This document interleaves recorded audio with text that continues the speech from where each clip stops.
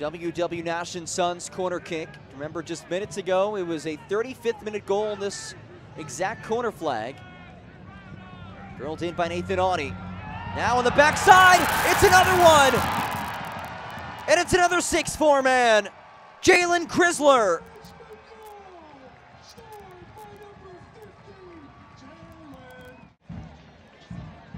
Ball in, beautifully played, and again, it is a 6-4 man.